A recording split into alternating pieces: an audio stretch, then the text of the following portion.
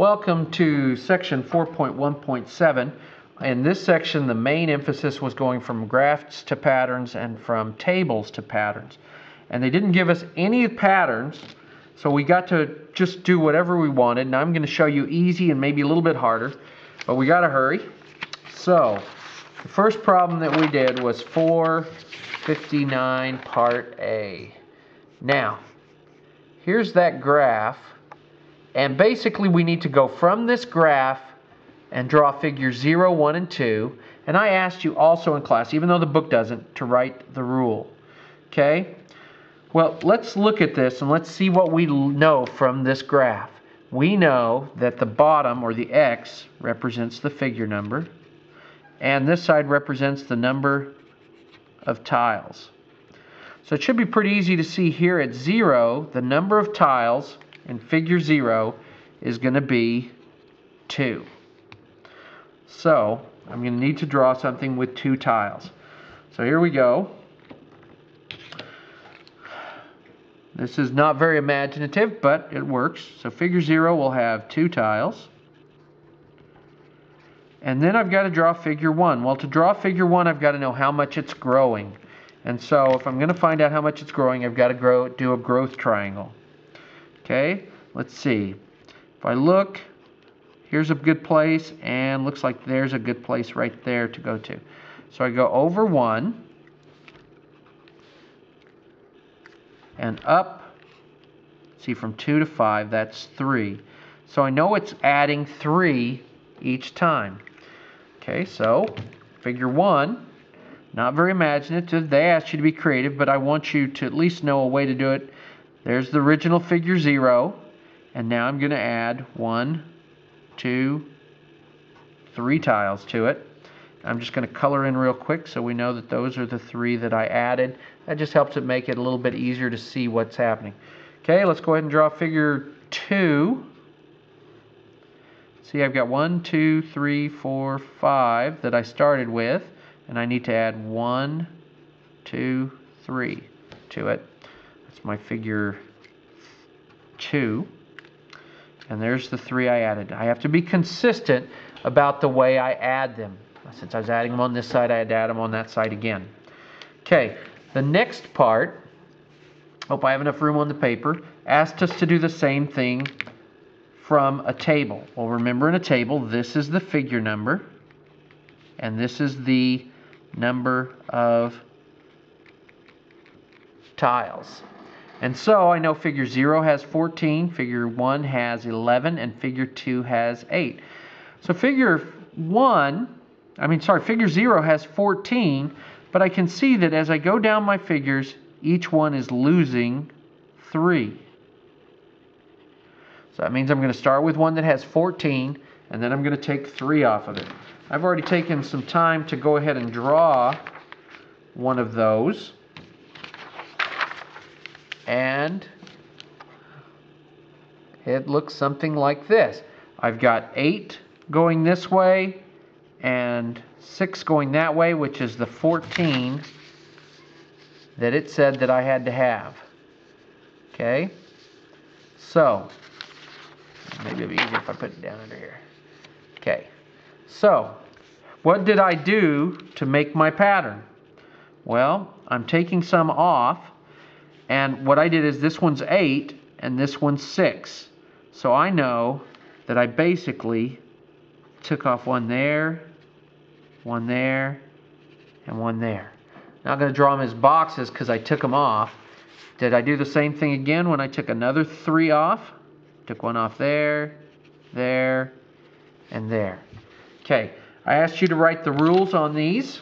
And so we're going to go back and look at these two representations to write the rules. Okay, remember from yesterday that y equals the rate of change, which is 3 over 1, x plus the crossing point, which is 2. This one, y equals something x something. In this one, we want to know what the zero figure is. The zero figure has 14 in it, so that's plus 14.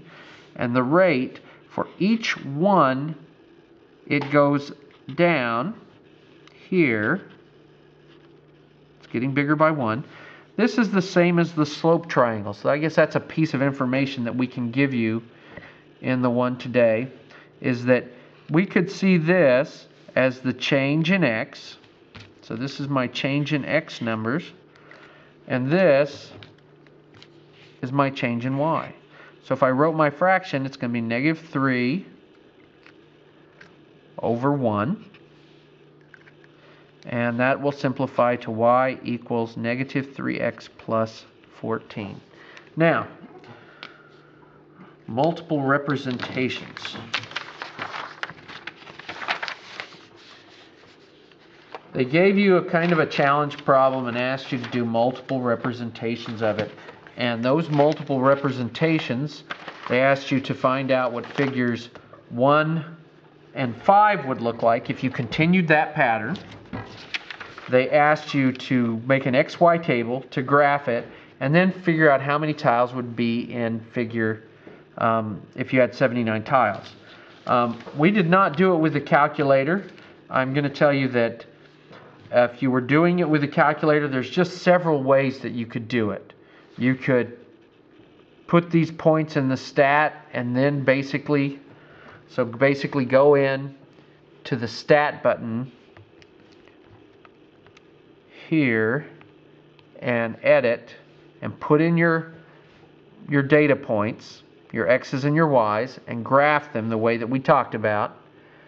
And then you could come back to y equals and try different rules till it went through the points. Be an approximation.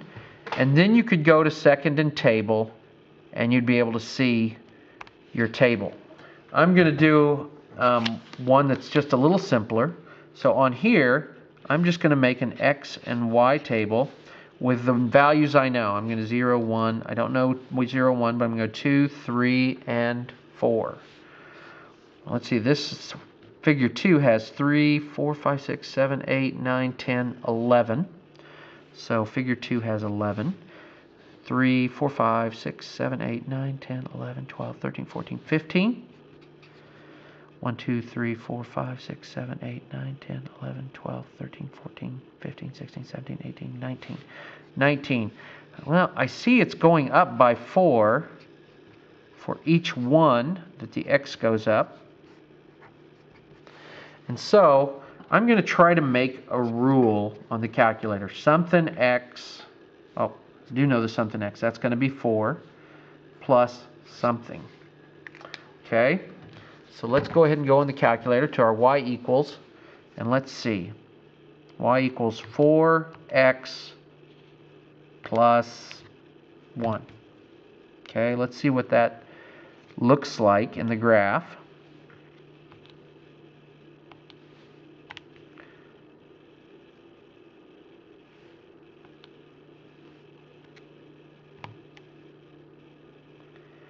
Okay, apparently the last person to use my calculator has changed a setting for me real quick. I'm going to turn my axes back on. And there's the graph. Well, I'm not sure if the graph tells me much now, but I can go to its table, and I know some values that it has to match. They need to match this. Let's see how close we are. 2 was 9, 3 was 13, and 4 was 17. Looks like to me that all these numbers are about 2 off. So let's go back into our y equals, and let's make it instead of plus 1, maybe make it plus 3. Let's go back to the table. And let's see. Now I've got 2 is 11, 3 goes to 15. And so now I can put in my other values. 0 is going to be 3, 1 is going to be 7. Okay, I would be able to see a graph. And I could zoom in on my graph. Um, I'm going to do it by changing the window settings. Um, well, actually I'm not because I don't have time. But I could use my graph to make copy onto the graph paper. Here is the last 15 seconds. Here's what I did. I did all the things they asked me to do. And I'm going to show you how I and some of the students saw the growth today. We saw a little L, so here's an L being added, an L being added, an L being added, and that's it.